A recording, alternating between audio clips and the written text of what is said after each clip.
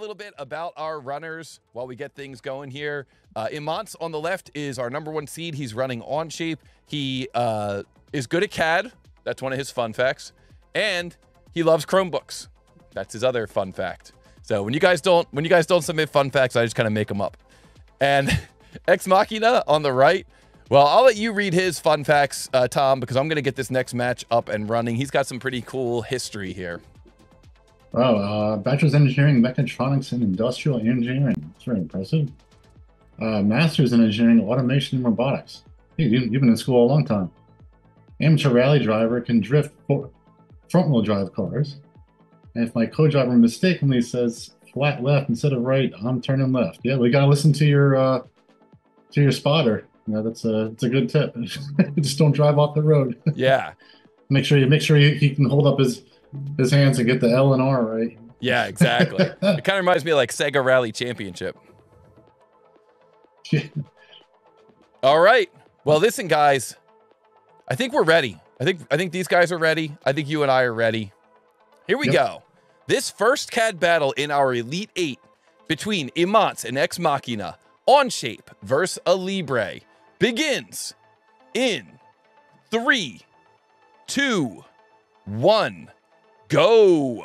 What is the mass of this part in XXX grams? What is the mass of this part in XXX grams? So our runners are trying to figure out what the mass of this part is. They're going to be opening this part in their CAD. Let's flip over to this CAD versus CAD layout here. Here we see on the left, we've got Imants, and on the right, we've got Ex Machina. What is the mass of this part in XXX grams? If anybody in the chat didn't have a chance to grab the screen capture, go back. You can rewind the video. You can grab the screen capture. But now, both of these runners are facing the challenge of where do I start this model? What's my starting sketch plane? What's my starting profile? We see Imants on the left using Onshape. We see Ex Machina on the right using Alibre. And we see that both of these experts have started with the same profile. How cool is that?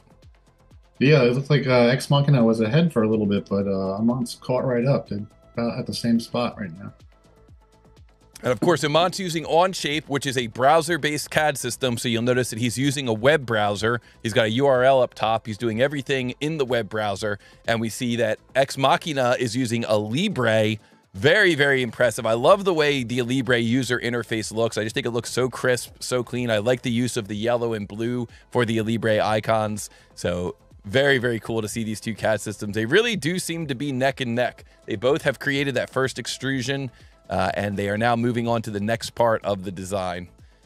Yeah, and they both started uh, with the same major feature, um, which is, I guess, a good starting point for something like this. Uh, that then you know the biggest part you draw first and get out of the way, and then you worry about what's hanging off the, the sides of it. And weekday Wednesday make weekday Wednesday making an observation here. Uh, I almost said his username wrong. It's weekday Wednesday weekend Wednesday. We says it looks like they each put the origin at a different lo- different place. I wonder how that will play out later. That's a good observation. Uh, for a part like this, it's Uh, I mean, they're they're from the top view, the origin is in the same place. That shouldn't hurt too much. And it looks like we got a little controversy in the chat here. Tayfun saying Alibre needs proper slot tool pisses me off sometimes. Wow. Oh, Yo. tell how you really feel. yeah. Yikes. Okay. Let's go. so we see that it looks like uh Imants decided to start out with that very first slot feature on the front plane, but then decided to kind of make that extra circular boss up in the upper right, where Ex Machina decided to create a sketch that encapsulates both that circular profile and that upper region kind of all at the same time. So we're going to see how each of these strategies plays out. Uh, I got a feeling I know where Ex Machina is going with his. Imants is going to be a little more interesting how he uh, patches up that upper section. Yeah, I don't have the drawing in front of me, but if it's one of those things where the, the center of that thing is not really defined until it's, uh, you know, it's defined by angles and so forth, you may not know where to put it. Yeah, some of those models have that. And new new this season on both practice models and in the tournament, we have a tier ranking system for difficulty. And when there's like a geometric trigonometry that's required uh, in order to figure out the location of features, that will often bump up the tier level by you know by one level. So this this drawing, I believe, is a tier four, tier three, tier four. Let's see if we can't show the drawing real quick here without missing too much of the action. So it looks like this one is a tier five. Yo. Oh. Okay, a little bit more difficult drawings this this this week. Now that we're in the Elite Eight, we're gonna see some more difficult drawings. Add a few drafted faces and bump up that tier. Yeah. Well, that's where we're going to end up, I'm sure. You know, we're going to get to tier six, tier seven. It's going to be tough to get all of the. Uh, all of the required dimensions on the print. But here we see Imants on the left uh, coming through and kind of cleaning up that upper tombstone area. I was wondering what he was going to do there, and, I- and I see that he's just decided to do it with a simple extrusion straight down. Very elegant solution. I think that's the way to go there for that one. Uh, well done. Well done to Imants on that feature. And it looks like, Uh, Ex- believe it or Machina- Ex Machina has a lot of a lot of sketches going on.